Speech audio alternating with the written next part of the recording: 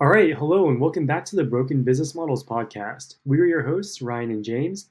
And before we get into today's podcast, just a quick disclaimer nothing in this podcast or any of our other materials should be taken as investment advice. James or I could have positions in any of the stocks that we may mention in this podcast, and we reserve the right to change those positions at any time. So make sure to always do your own work and consult with a professional uh, b- before making any investment decision. With that being said, the topic of today's podcast is going to be quantum computing, which, as you may know, is kind of the talk of the town in the investing community over the past few days. So, we've talked about quantum computing, the quantum computing space before on this podcast, but um, in the past couple of months, and especially in the past uh, couple of weeks, the entire quantum computing space has had a pretty incredible rally with some of the pure play quantum computing stocks like uh, D-Wave, IonQ, and others, and uh, and quantum computing potentially one the most obviously quantum related stock in the entire market, up as much as 10 times. And in the past just couple of weeks, there's even more fuel added to, added to the fire when Google's quantum computing efforts uh, were able to reach a breakthrough that they announced um, for their Willow quantum computer. And that led to an incredible amount of investor hype and media attention. So, what was this breakthrough that Google most recently uh, announced that caused the most recent uh, leg higher in this quantum computing surge? So, Google came out with a press release that claimed that they have a new quantum computing chip called their Willow chip that paves the way to a useful large scale quantum computer. Uh, Google CEO Sundar Pichai also put out a tweet uh, highlighting that this chip solved a standard computation in less than five minutes that would take a leading supercomputer uh, longer than the known age of the universe uh, to simulate. So obviously this sounds really, really, really good, and you can see how uh, it would be very, very exciting for anyone who's potentially interested in quantum computing. But what does this breakthrough, this um, this new computation that they were able to achieve, really mean? So this standard computation that the Google CEO was talking about is something called random circuit sampling. And you know, this is quantum computing, so it's very very technical, very scientific stuff. But the basic gist of it is is that it's basically sampling random numbers from a probability distribution modeling quantum states or quantum computers. So basically, it's just sampling random random numbers from a quantum computer and it's able to do that in a way that's much faster than a standard computer would be able to do on its own. Uh, so obviously, nothing you know on its face, nothing remotely practical about this uh, this breakthrough. On top of that, um, the claims of quantum computing being on the cusp of leading to practical use cases is nothing new. So on the bottom left here, I have a recent article from Forbes talking about why Google's Willow chip is such a game changer. And on to the right, I have another headline that looks very similar in style from 15 years ago, also talking about how quantum computing may actually be on, on a cusp. So quantum computing basically has been on a cusp of being breakthrough from a practical perspective for decades now. So with that background, uh, I'll hand it over to you, James, to talk about what specifically is going on with some of these stocks that have been affected by this recent wave? Yes, so I think of the of the stocks that Ryan mentioned previously of the pure play quantum computing stocks, the most obvious one is Quantum Computing Inc. Uh, with the ticker symbol QUBT. Uh, this company is obviously related to quantum computing because that's literally its name is Quantum Computing Inc. Now, as of November 6th, like right before the election, Quantum Computing Inc. was a penny stock that was on the brink of bankruptcy. After all the hype around quantum com- computing started to gain traction, and especially since the Google's Willow chip announcement caused a lot of hype around quantum computing, Quantum Computing Inc. has seen its share price surge almost 20 times over the past month. And it now has a market capitalization in excess of $2 billion. So, what exactly is this Quantum Computing Inc., and uh, why have investors gotten so excited about it? Well, let's look at a bit of the history. Quantum Computing Inc. went public in 2018 via a reverse merger with a bankrupt penny stock. So, what happened was they find some existing company uh, that goes bankrupt, and but it's still but its stock is still traded on the exchange, and you can acquire, but it's obviously has a very low valuation because the company's already bankrupt. You acquire that company, and the primary reason that you acquire it is so that you can gain its um, its listing on the stock exchange. And that's called a reverse merger. You acquire a bankrupt, basically shell company, just to get the exchange, just to get their listing on the New York Stock Exchange, and then you have uh, you change the name of the company to Quantum Computing Inc. and claim to be developing a quantum computer. So that's what this company, Quantum Computing Inc. That's how they were able to list their shares um, on the New York Stock Exchange with um, via a reverse merger. This happened back in 2018. So what exactly does the company do? They their original business idea was to develop software for quantum computers. So at first they were not developing their own quantum computers. There are other companies developing quantum computers. Quantum Computing Inc. would make software that would run on third party quantum computers. The problem is that there are no useful applications for quantum computers today. Basically, today's quantum computers, they're just science experiments. They're not actually doing anything useful. Therefore, there's not really a big market to sell quantum software because the quantum computers are at such an early stage. So no one's really going to buy um, your software for it. And that's basically what happened. Their quantum software was a commercial failure in the entire year of 2021, Quantum Computing Inc.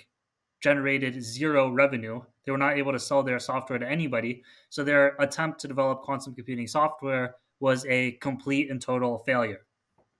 So in 2022, they pivoted the business by acquiring another company called QPhoton. And QPhoton was a tiny uh, pre revenue development stage company that was working on uh, quantum photonic technology. So this Q um, QPhoton was a startup that was trying to develop its own quantum computers. Quantum Computing Inc. acquires QPhoton in 2022, and then they say they're going to use QPhoton's technology to start building their own quantum computers. And they claim to be working on what they call a foundry in Tempe, Arizona, where they're going to do, where they're going to manufacture these uh, quantum computers based on QPhoton's technology. So, how has this um, foundry in Tempe, Arizona been going? So, they've posted one picture on their Twitter showing the inside of their foundry. Uh, this was in October of 2024, so just a couple months ago.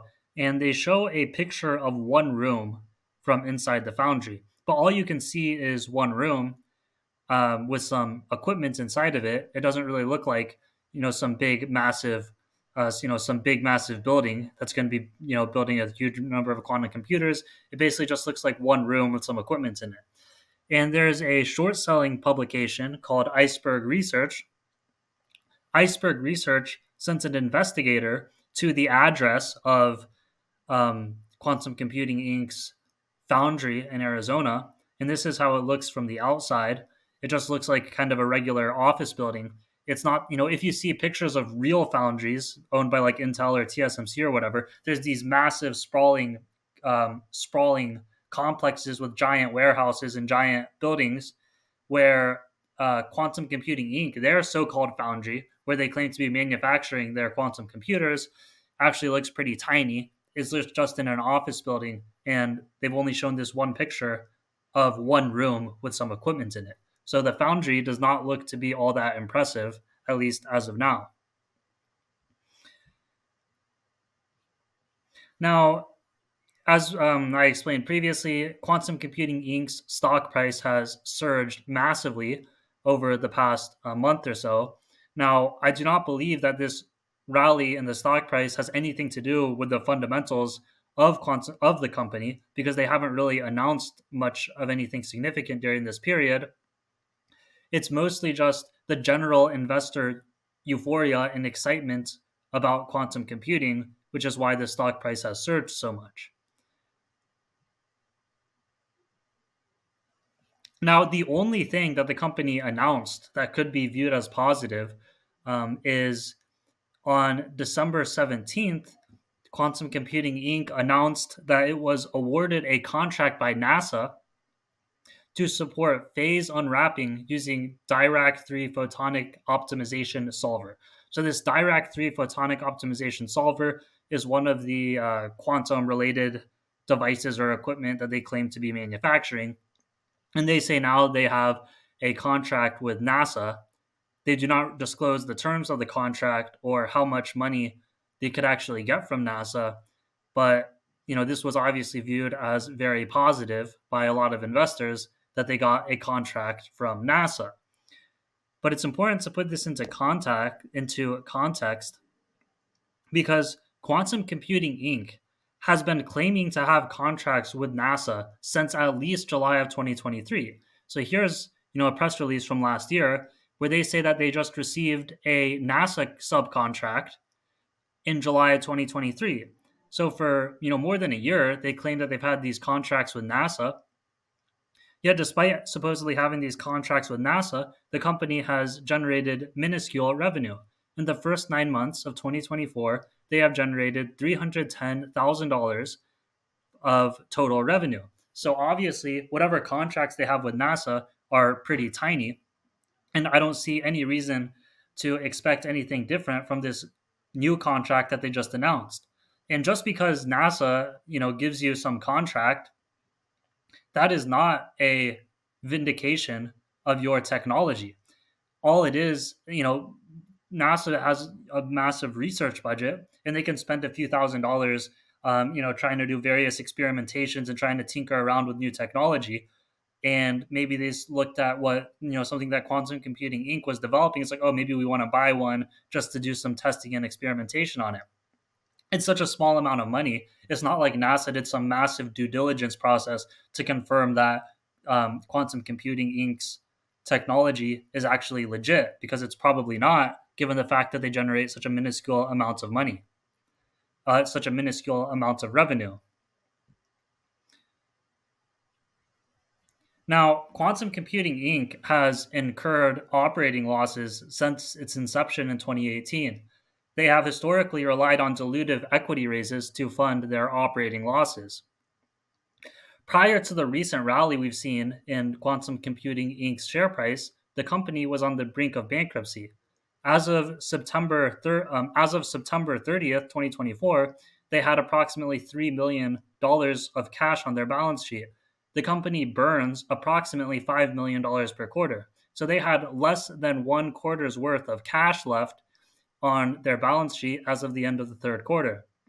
And we can see over the past couple of years, their share count has increased massively as they issued new shares to fund um, to fund their losses. Yet, despite issuing so many shares, their cash balance was actually decreasing because they were burning money faster than they could raise it. And as the share price was declining, it looked like the company was probably heading towards bankruptcy. Of course, this all changed over the past month with the monster rally we've seen in the company's share price.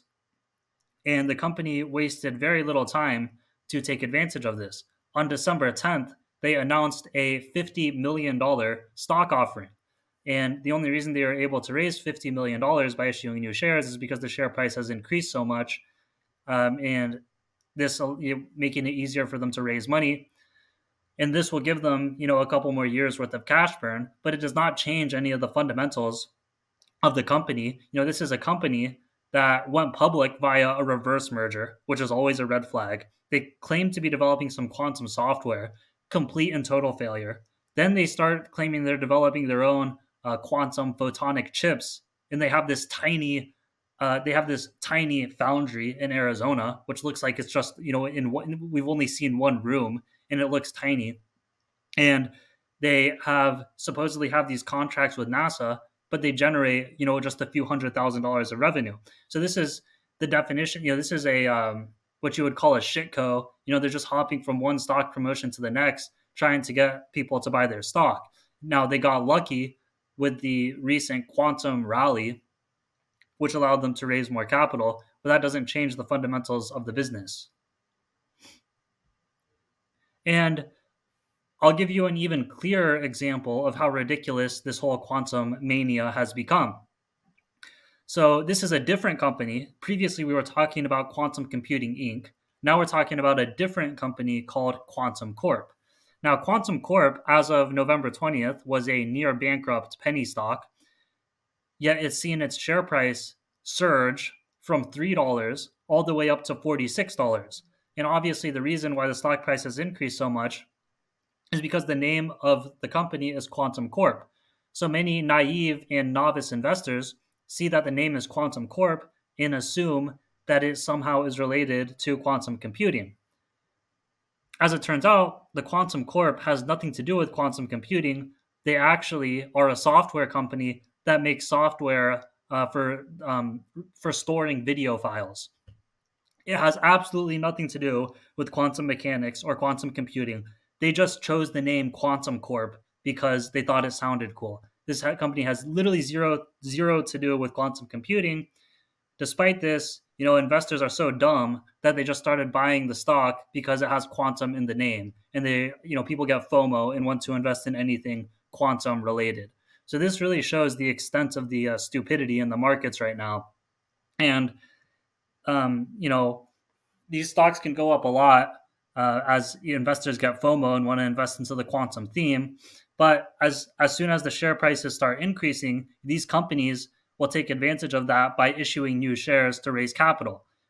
And you know, as the share counts, um, as these new shares hit the market, I expect um, I expect these stock prices to be uh, crushed like souffles under sledgehammers as these companies issue new shares, and that will eventually put downward pressure on the stock price because these equity raises are dilutive. So I think that about wrapped up everything we had to talk about, um, everything we had to talk in today's video. If anybody in the audience um, has any thoughts or opinions about quantum computing, please let us know in the comments section below, and we will see you all on next week's video.